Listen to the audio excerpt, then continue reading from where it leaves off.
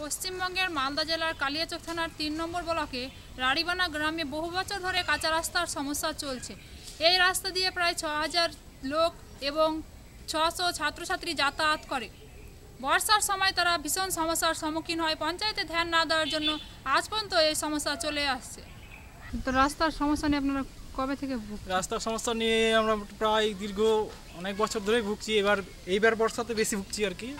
বর্ষাতে প্রায় নাজেহাল অবস্থা আর কি। ডেলিভারি পেশেন্ট, এমার্জেন্সি রুগী, কোনোটাই হাসপাতাল নিয়ে যেতে পারি না প্রায় হাজার খানেক ছাত্রছাত্রী এটা দিয়ে যাতায়াত করে। যেতে ইউনিফর্মে কাদা লাগে, সাইকেল নিয়ে যেতে পারে না, হেঁটে যেতে হয়। বর্ষার সময় তো প্রায় সাইকেল মোটর সাইকেল গাড়ি ঘোড়া চলতেই পারে না। যদিও যেতে হয়, তো সেই রাস্তা দিয়ে আছাড় খেয়ে পড়তে হয়, নাহলে ট্যাং হাত ভাঙে। এটা আমাদের চার পাঁচটা গ্রামের সদর রাস্তা, এই রাস্তাটা। স্যার, আমরা রাস্তা নিয়ে ভুগছি। আপনার আপনার আগের ভিডিও সাহেবকে দিয়েছিলাম একটা অ্যাপ্লিকেশান সে কোনো কাজ হয়নি। তো আপনাকে আবার জানানো হচ্ছে। তো আপনি একটু দেখুন ব্যাপারটা কী হচ্ছে। তো তারও কোনো হেলদেন নেই।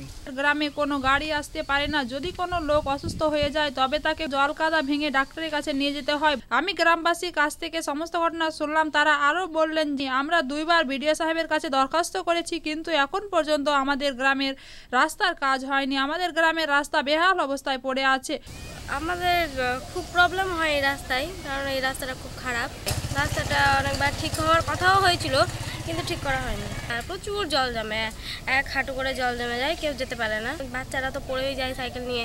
যারা এই ভিডিও দেখছেন, তাদের কাছে আমি অনুরোধ করছি, আধিকারিক Dulal Chandra Sarkar, mobile number nine double zero double two zero three five three eight, এই নম্বরে বারবার কল করে চাপ সৃষ্টি করুন, যেন রাড়িবনা গ্রামে তাড়াতাড়ি পাকা রাস্তা করা হয়। ইন্ডিয়া আনহাটের পক্ষে আমি সরিয়া বানু, পশ্চিমবঙ্গ, মালদা জেলা থেকে।